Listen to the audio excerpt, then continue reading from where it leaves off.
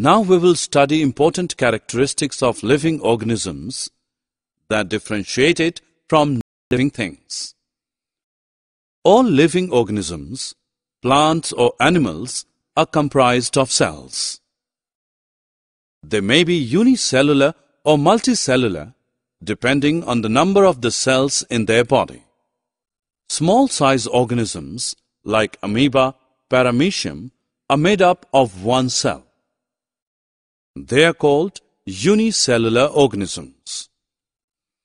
Human beings, pigeons, mango tree are made up of many cells, so they are called multicellular organisms.